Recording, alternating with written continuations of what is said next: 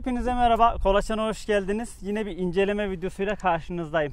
Gördüğünüz gibi yanımda Afrika TV'm var. L1 versiyonu.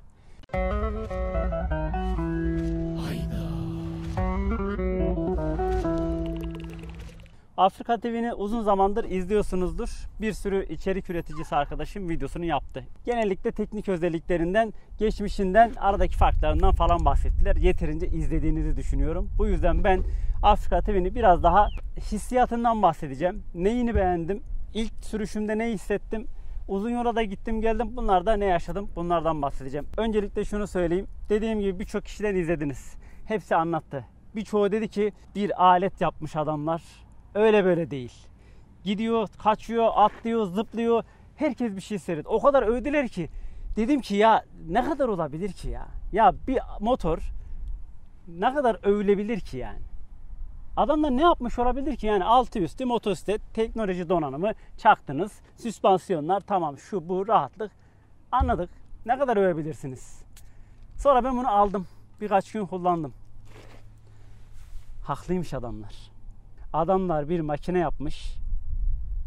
Akıllara zarar. Dediğim gibi yanımda L1 versiyonu var. Yani Afrika TV'nin paketlerinin en boş hali. En boşu buysa dedik diğerlerini hiç test etmeyelim dedik yani. 103 beygir 98 Nm tork üretiyor. Teknik detaylara çok girmeyeceğim ama bunlardan da bahsedeyim. Çift silindir. Bunları atlamadan geçmeyeyim.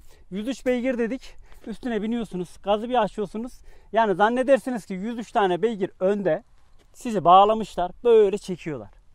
Acayip bir tork, acayip bir ivmelenme. İşin şakası bir yana 230 kilo 226 kilo aslında ama orada 3-5 kilo değişebiliyor. İşte çanta takılıyor. Bunlar üzerinde gelmiyor. Aksesuar tabii ki.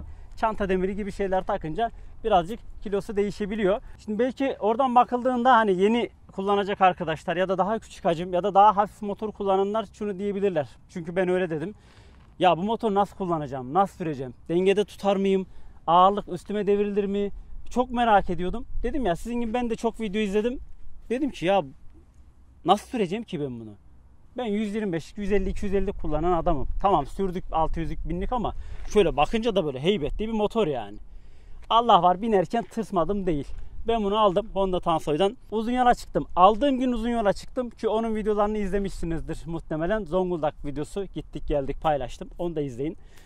Uzun yola direkt çıktım. Çıkmadan önce üzerine bindim abi. İlk defa sürüyorum. Korka korka. Ayaklar yerde. Aman boyum yeter mi? Aman üstüme devrilir mi? Falan filan derken abi bindim. Bire taktım. ikiye taktım. Bende korku morku kalmadı.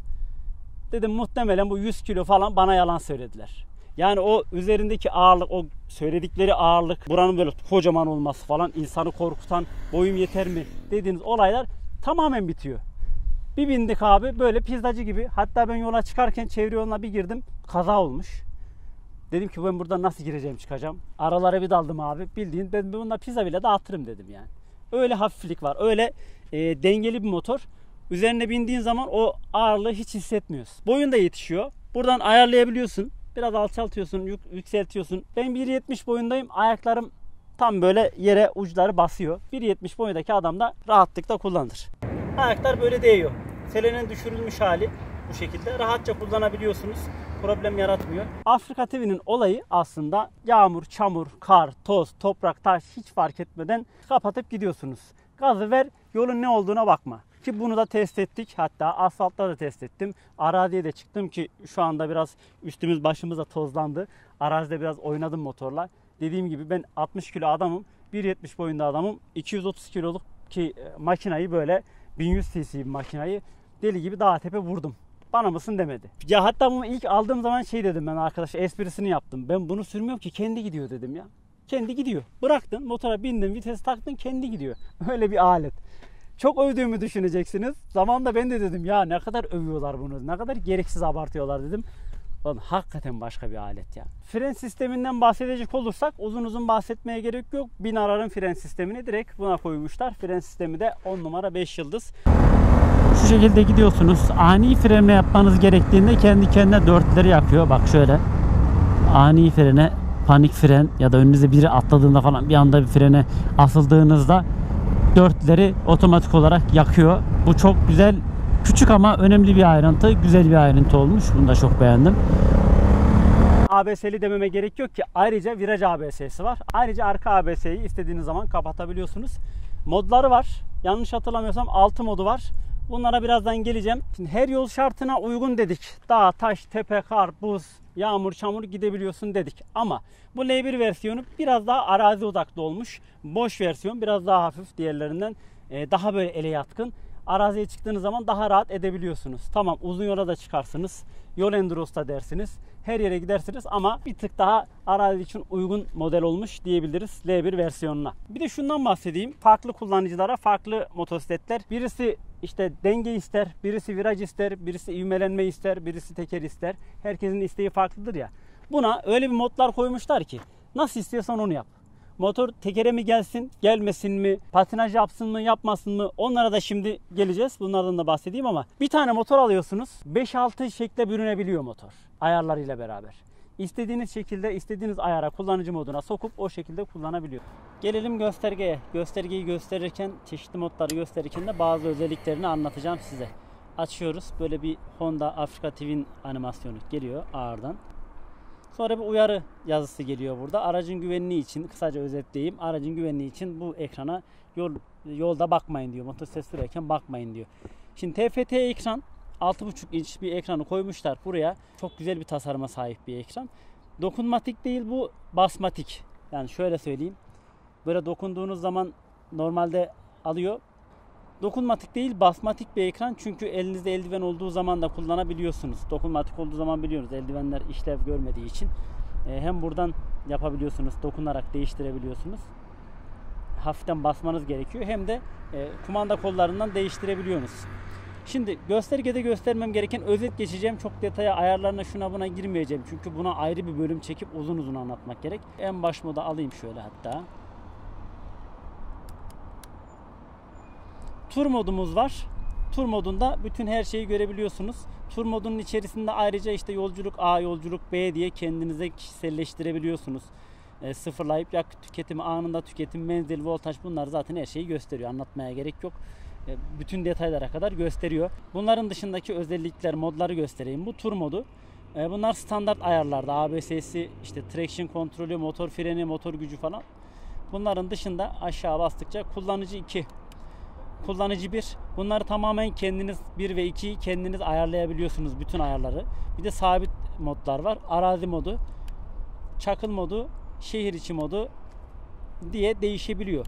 Ayarlayabildiğiniz birçok şey var. Bunlardan bir tanesi traction control 6 modlu traction kontrolü var. Arka patiye ne kadar düşsün düşmesin diye daha açıklayıcı olmak istersek.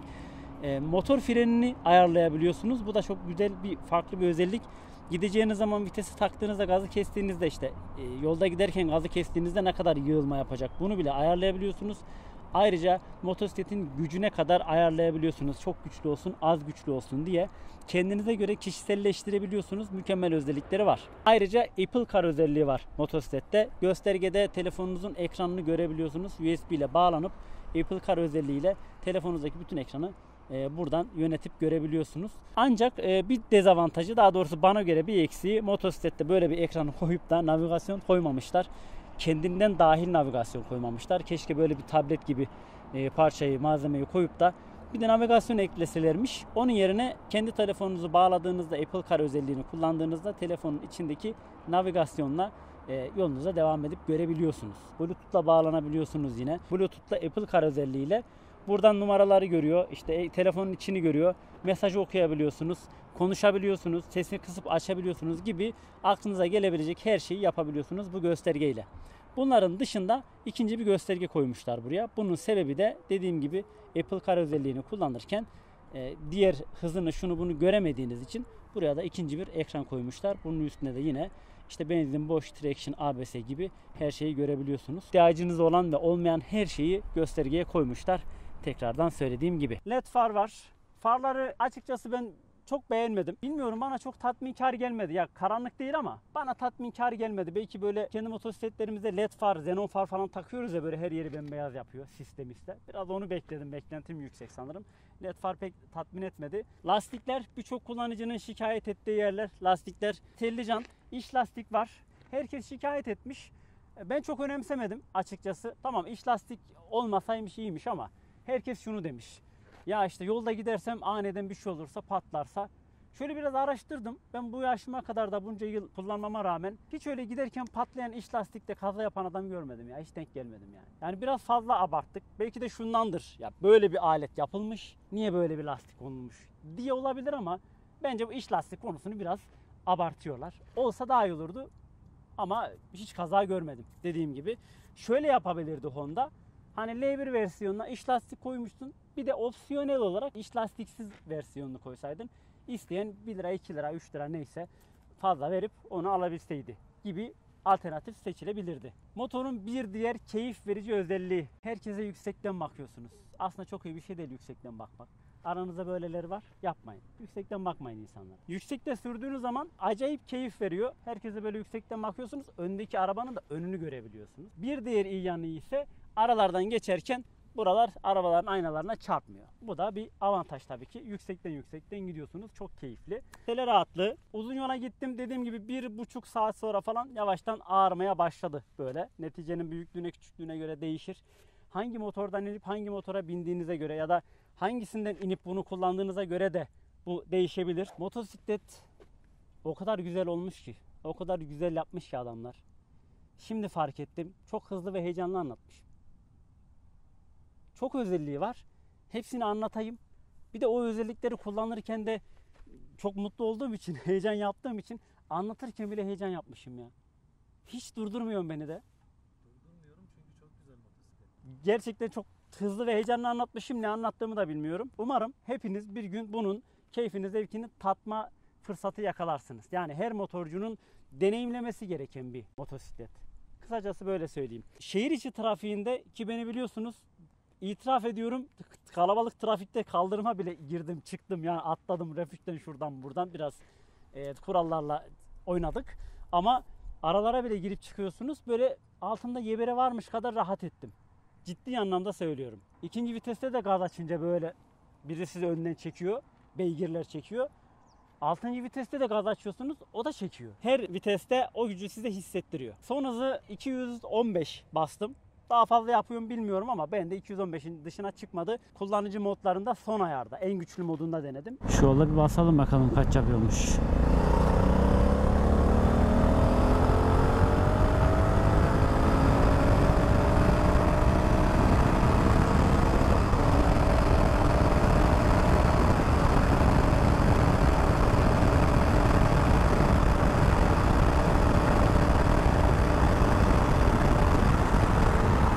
Aynalar arkayı çok güzel gösteriyor. Afrika TV'nin teknik özellikleriyle alakalı söylemediğim eminim ki birçok şey var. Birçoğunu ben kendim atladım. Birçoğunda söyleyeceğim dediğim şeylerde muhtemelen unutmuşumdur. Ama onların hepsini bir tarafa atın. Dediğim gibi herkesin kullanabileceği bir motosiklet. Herkesin her yol şartlarında, her hava şartında kullanabileceği bir motosiklet yapmış adamlar. Bunun bir de DCT versiyonu var. Onu da söylemeden geçmeyeyim. Otomatik şanzıman, otomatik versiyonu var. Elektronik gaz kolu. Onu da söylemeden geçmeyeyim. Aklıma geldikçe söylüyorum. Lastikler Bridgestone. Seni sormak istediğin bir şey var mı? Kamera arkası. O zaman neden NC750 aldınız diye sorarlar. O zaman neden NC 750 diye aldım diye sorarlar. Evet. Yani madem bu kadar beğendik Afrika TV'ni Evet. 5 daha koyup Afrika TV'nin alamaz mıydık? Alamazdık çünkü 5 yetmiyor. 10 da yetmiyor. Çok koymamız gerekiyordu üstüne. Bu bir. İkincisi de çok koymamız gerekmese bile ben her zaman ihtiyaca yönelik motosikletten yanayım. NC 750 biraz daha uzun yol ve tur planlarım olduğu için ben onu aldım. Onun dışında hep biliyorsunuz ki izleyenler ben hep şehir içi kullanırım genel anlamda. E, sürekli şehir içine gir çık gir çık tamam şehir içi performansı da çok güzel ama e, sürekli şehir içinde bununla mı uğraşacağım kardeşim yani o kadar da değil yani. NC tam benim kullanabileceğim benim ihtiyacıma yönelik olan güzel makine. Yani Afrika sadece şehir içi için alınmaz. Ya şunun için alınmaz. Yani ben şuradan iş yerim 10 kilometre, 5 kilometre şehir merkezinde çalışıyorsun. Ya işte ben otobüsten, minibüsten sıkıldım da, metrodan sıkıldım da şuradan işe gidip gelmelik alayım diyeceğim bir motor değil yani. Onu almak çok mantıklı bir düşünce olmaz tabii yani. Ama her gün her gün de o şehir içine girilmez arkadaş. Biraz gerçekçi olmak lazım yani. NC ile girilir mi? NC ile de aslında girilmez ama Afrika ile kıyaslarsak girilir. Öyle Nisp- düşünmek lazım. Nispeten tabii. şehirli bir Nis- motosiklet. nispeten diye bir kelime var. Her yerde kullanınca cuk oturuyor. Hani şöyle bak. Lastikler nispeten güzel. Diyorsun ya. Evet. Biri de çıkıp demiyor ki arkadaş nasıl neye nispeten güzel yani demiyor. Referans noktası. Referansı söyleyen de soran da yok yani. Biri size aynalar nispeten güzel diyorsa neye nispeten diye sorun arkadaş. Neye nispeten lan bu? KT 150'ye miyiz? Neye nispeten? Mondial KT 150'ye nispeten aynalar eh idare eder. Başka sorun yoksa kapatıyorum. Video çok uzun oldu. İzlemeyecekler bak sonuna kadar. Kapatalım. İstersen aynı videoda Artçı performansı- 150'yi de çekelim. Artçı performansı nasıl? Artçı performansı Sen bindin bir tek çünkü arkama. Yani gerçekten, Nasıl kullanıyorum ben sen onu söyle. Kolaçan bir motor kullanıyor. Şöyle söyleyebilirim. Gerçekten orada uyurum ben. Uyursun. Uyurum. O motorun özelliği değil biliyorsun değil mi? Ben kullandım. KT ile çıkalım. Ona da uyuturum. Onunla da uyuturum. Şimdi şöyle e, benim en çok dikkatimi çeken e, hani Zonguldak'ta bir tünele girdik. İleride yol çalışması vardı. Hatırlıyor musun Hat- bilmiyorum. Yol çalışması hep vardı da biraz daha ilerle hikaye. E, 180 kilometre hızla falan Hiç gidiyorduk. alakası yok. Kapat videoyu kapat. Ne alakası? O 80'lik güneş yansıması. Ondan sen orada frene bastığında ben arkada kollarımı e, kafama getirdim. Yani Şöyle mi kollarımla yaptın? Kafama evet. Niye? E, dedim durmayız yani biz düşeriz. Gözümü açtığımda dur. Ha sadece kafayı korudun düşersek diye. Anladım. Güzel yani açınca gazı esiyor. Peki videoya gelecek en çok yorum hangisi biliyor musun? Neymiş? Abi Honda'dan kaç para aldın?